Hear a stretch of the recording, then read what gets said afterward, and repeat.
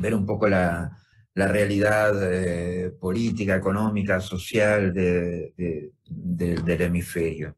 Que la realidad obviamente eh, se va ajustando y va, y va cambiando, o sea, este, y eh, obviamente tiene mucho que ver con la situación de la democracia, la situación de los derechos humanos, también las condiciones sociales, económicas que vive, que vive nuestra gente. Entonces, mi saludo este, a, todos ustedes y, muy bueno, este, felicitaciones a la Fundación por el trabajo que, que hacen año a año para eh, fortalecer este, la vocación de los jóvenes latinoamericanos en el, en el servicio público. Y las Américas es una región que contiene una colección muy importante de democracias en el mundo. Y a excepción de algunos casos, es un es un hemisferio con casi mil millones de habitantes que viven bajo sistemas democráticos.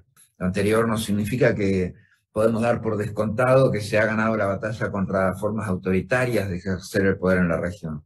Tampoco significa que las democracias en América Latina no tengan fallas o déficits, las tienen y muchas, tanto estructurales eh, como la desigualdad económica, la desigualdad social, como coyunturales, este, en el tema de obviamente liderazgos antisistémicos, etcétera, etcétera. En la tarea de este proceso continuo que es la democracia, es un proceso, un proceso permanente, es un fin, un objetivo en sí mismo, pero también es un proceso, es un proceso permanente para las democracias, eh, encontrar su puesta a punto, no es, eh, no es algo fácil, es, es un sistema que tiene que ver con temas institucionales, que tiene que ver con calidad de la ciudadanía, que tiene que ver con las condiciones sociales, que tiene que ver con las libertades individuales. En todos estos temas la OEA tiene un papel central que cumplir. Y la OEA eh, personifica, o sea, ensambla esos eh, como foro político por excelencia del, del hemisferio, esos principios y valores que los estados de la región han ido construyendo durante, durante muchas décadas. O sea, la organización sigue siendo y es la eh, organización multilateral más antigua del mundo. Desde 1889, en la primera conferencia panamericana, estamos trabajando estos temas de democracia, estamos construyendo Estado de Derecho, estamos construyendo los mejores instrumentos jurídicos para defender eh, eh, la democracia. Y eh, los estados eh, que negociaron y firmaron voluntariamente la Carta Democrática, y voy a ella porque se están cumpliendo 20 años de la misma, que es un elemento de identidad regional. Todos afirmamos esa vocación democrática y nadie en esta región acepta ser este, considerado no democrático, aún aquellos que obviamente tienen eh, un enorme déficit con la democracia o que, han completamente colapsado en, en prácticas autoritarias. Pero esa aprobación hace 20 años de la Carta Democrática por consenso dejó en evidencia un compromiso incondicional con la democracia que ha sido nuestra propia elección y tiene que ver también con, con las palabras de Bolívar en el Congreso de Angostura, o sea, tiene que ver con cada una de las constituciones que se han aprobado en los países de la región. Ese es nuestro sistema eh, eh, de gobierno y aquellos que no no lo aceptan aquellos que no lo practican, obviamente que son aquellos que quedan señalados por este, este uso de malas prácticas o, eh, o directamente eh, la conceptualización autoritaria o totalitaria que, que padece. Los derechos humanos y la democracia no existen solo cuando es conveniente, deben imperar en todo momento. La defensa de la democracia es un mandato central para las instituciones de cada uno de los países y para las instituciones hemisféricas. Es un pilar fundamental de las relaciones internacionales en este hemisferio. Y el artículo 1 de esta Carta Democrática Interamericana obliga a los estados a promover y defender la democracia. Entonces tenemos que ser consecuentes con eso, tenemos que lograr que las instituciones sean lo suficientemente fuertes como para eh, darle a la democracia la mejor forma de sostén, como para darle a la democracia los cimientos más fuertes. Los líderes que no protegen ese derecho a la democracia, los líderes que no protegen el derecho a la democracia de los pueblos es la peor forma de liderazgo, es robarle al pueblo la soberanía. La soberanía radica en la nación. Y eh, cuando eso ocurre, cuando se le sustrae eso al pueblo, en realidad lo que se está perdiendo es la legitimidad para gobernar. La Carta tiene mucha claridad en los elementos esenciales de la democracia, como ser el acceso al poder y su ejercicio con sujeción al Estado de Derecho, sujeción al Estado de Derecho democrático, la celebración de elecciones periódicas, libres, justas, basadas en el sufragio universal secreto como expresión de la soberanía del pueblo, lo que me refería hoy, pero otras variables de participación política que también son relevantes. El régimen plural de partidos y organizaciones políticas, todas las ideas tienen que estar representadas. La separación e independencia de los poderes públicos para que haya el suficiente balance institucional y para impedir los excesos. La Carta de la OEA nos dice que el multilateralismo forjado en nuestra organización tiene su base y sustento en el pueblo, en cada una de las personas de este hemisferio.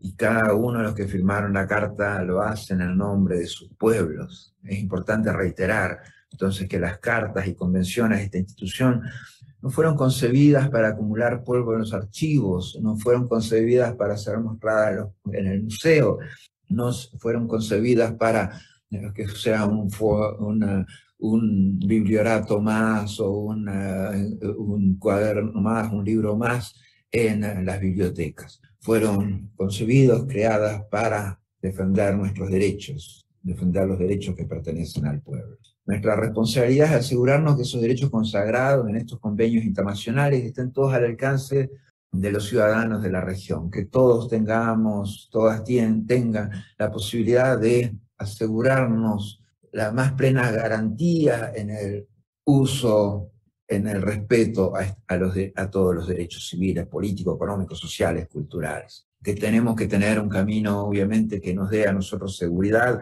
y que este camino de la democracia sea un camino de prosperidad para todos y todas. La OEA, como principal foro político, debe ser también un bastión del sistema interamericano y de los valores democráticos. En primer lugar, según estos principios valores interamericanos compartidos, y, eso es esencial, más allá de los intereses políticos, los intereses comerciales particulares que puedan haber en cada caso. Los principios valores compartidos son necesarios y los principios valores compartidos deben ser practicados. En la coyuntura hoy de la historia moderna durante la pandemia, hemos observado un creciente interés en la política populista, aislacionista, en algunas de las economías más desarrolladas. Todavía estamos en una coyuntura geopolítica regional relevante que pone a prueba esos principios y valores que profesamos, permanentemente puestos a prueba. Porque la democracia también tiene la obligación de ser eficiente. No solamente la posición política, ética y moral en la práctica, más allá del papel, pero que eso también tenga la capacidad de resolver los problemas reales de la gente. La democracia tiene que ser fuerte y por lo tanto los desafíos éticos y estructurales deben ser atendidos con urgencia, deben ser resueltos. Esa es la misma esencia del sistema. Entonces, eh, tenemos que ser claros, tenemos que ser fuertes y tenemos que ser eficientes en la lucha contra la corrupción tenemos que generarlas con mejores condiciones de confianza en la ciudadanía a partir de entonces. Tenemos que cerrar las brechas de oportunidades con instituciones que eh, signifiquen soluciones para, para la gente y no instituciones que perpetúen variables de exclusión. El eje de la democracia debe asentarse en la probidad republicana, es necesario fomentar la integridad, la transparencia, la rendición de cuentas y la evolución más allá de cualquier práctica clientelar. Debemos hacer el ejercicio ético permanente de la democracia. Los casos de corrupción de alto perfil con tratamiento diferencial ante la justicia fomentan la percepción de desigualdad y tienen un claro impacto negativo en la percepción de la democracia. No se puede tolerar la impunidad. Frente a la corrupción, tolerancia cero debe seguir siendo el lema, debe seguir siendo el objetivo. Debemos eh, lograr mejores condiciones de participación política cada vez. Y esto significa acercar a la ciudadanía a la política, tener cada vez mejores ciudadanos practicando la política. Debemos eh, evitar de todas maneras la desafección que pueden sentir los ciudadanos, las ciudadanas con la política. A veces cuando se observa la erosión de los mecanismos para el ejercicio de la democracia, nos queda claro que con elecciones solo no alcanza. Debe haber en el ciudadano, en la ciudadana, obviamente eh, su relevancia a la hora de emitir el voto, pero también la relevancia de su interacción, de su participación política, de eh, seguimiento de los mecanismos institucionales, los procesos institucionales, el seguimiento a las alertas tempranas que pueden haber en temas de medioambientales, en temas de derechos humanos, en temas de corrupción, y obviamente reafirmar todas las variables que eliminen cualquier forma de discriminación,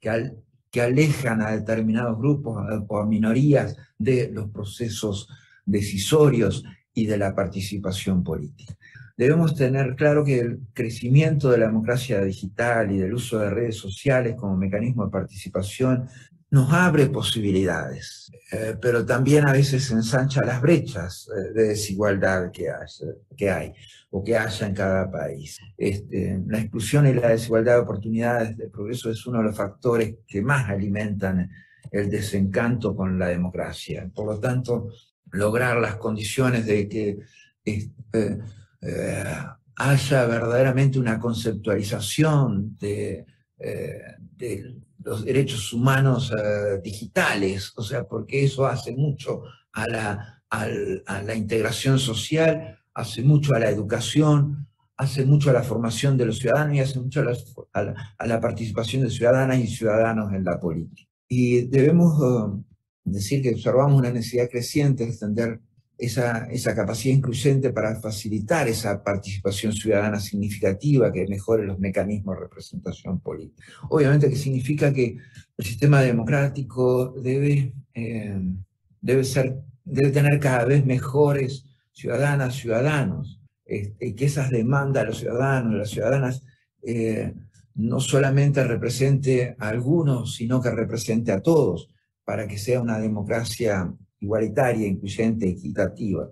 Si no damos acceso igualitario a más derechos para más gentes y no reconocemos estos derechos digitales, si mantenemos la sociedad de las Américas entre las más desiguales del mundo, siempre tendremos un problema de desarrollo, claramente, y tendremos un problema de injusticia permanente. Y las sociedades injustas, obviamente, son sociedades que solamente van al fracaso. Los sistemas de de gobierno no pueden perpetuar la exclusión, no pueden perpetuar situaciones en que la gente esté eh, silenciada o que la gente esté marginada.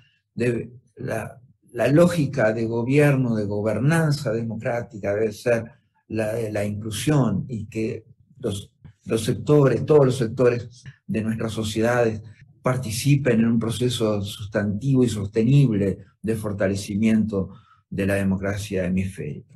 Muchas veces, o sea, eh, si vemos los jóvenes, o sea, obviamente que, sentimos claramente cómo 20 millones de jóvenes no trabajan ni estudian en América Latina y los reportes eh, que se hacen al respecto señala que un 60% de esa generación provienen de hogares pobres y en situación de vulnerabilidad. Esto es inadmisible. O sea, tenemos que eh, definitivamente en, engrasar los engranajes de la sociedad como para que haya, para que los mecanismos de inclusión social funcionen de una manera más eficiente y resolutiva. Son jóvenes eh, los que han eh, padecido la falta de oportunidades de educación en este tiempo. Son jóvenes que soportan la crueldad de las fallas estructurales, de la marginación, de la desigualdad, de las barreras a la movilidad social.